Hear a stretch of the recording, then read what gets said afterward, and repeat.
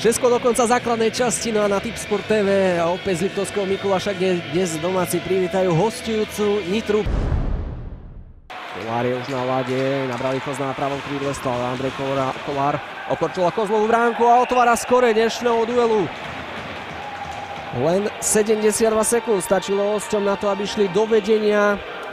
Andrej Kolár hneď pri svojej prvej útočnej akcii v dnešnom dueli strieľa svoj 11. gól. V tejto sezóne 27. kanadský bod.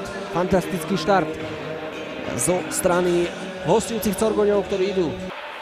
Teraz strela opäť Vodáka, opäť Kozol, tentokrát pravým betónom a zvonila horná žrtka po dorážke Liama Finleja. Popri Mantinelli. Teraz naskočil Kolár, ale je vyrovnané. Tak z ničoho nič Liptovský Mikuláš svojej druhej strely v dnešnom zápase v čase 6 42 vyrovnáva na 1-1 a rýchla odpoveď domácich. Za slovom Uhrika. Domáci útočník sa presadzuje tretíkrát v tomto ročníku. No a začíname od znova. Ofenzíva pokračuje ďalej. Nemec. Finlay na dorážku a je to 1-2. Tak Nitra predsa len e, tú druhú presilovú hru v dnešnom dueli využíva, aj keď ju začala katastrofálne napokon v čase 16.42. Po strele Nemca doráža backendom puk za kozla Liam Finlay. A svojím štvrtým golom v tejto sezóne vracia Nitru. Dovedenia tentokrát 1-2.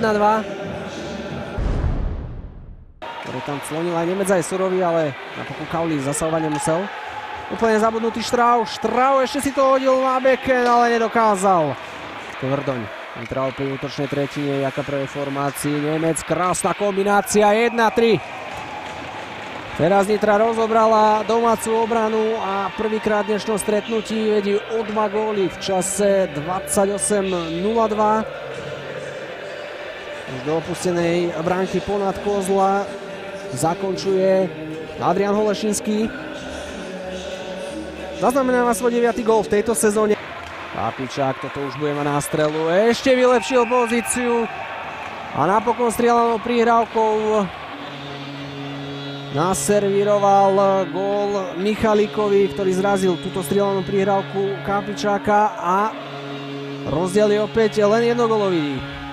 Čas 28, 48. Arkus Michalík Svojím 7. presným zásahom v tejto sezóne znižuje opäť na rozdiel jediného gólu, ale musíme pochváliť domáceho obrancu.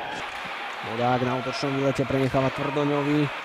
Hľadal Holešinského a krásna kombinácia. Opäť nemal prsty Tvrdoň. Nitra sa vracia do dvojgolového vedenia v čase 30-36 a opäť je to Adrian Holešinský, ktorý zaznamenáva Jubilejný desiatý presný zásah, druhý v dnešnom stretnutí. Takisto druhý v prostrednej tretine. Poď eh, tlak Nitry v útočnej tretine. Žajo rana od modrej čiary. 2-5, počkáme si teda, či tam nebol ešte Minarikov teč. Čas 32-50, Nitra poprvýkrát v dnešnom dueli ide do trojgolového vedenia. A pravdepodobne tam e, bol ešte teč. Hostujúceho Minarika. Doniesol hru ale len k Bajtekovi. Hrali už tam neskoro, veľmi šikovne teraz Kolár. Kolár. Obrovská šanca hneď z prvej strely. Bátori inkasuje. Čas 33-35. Gólový uragan Nitry v druhej tretine pokračuje.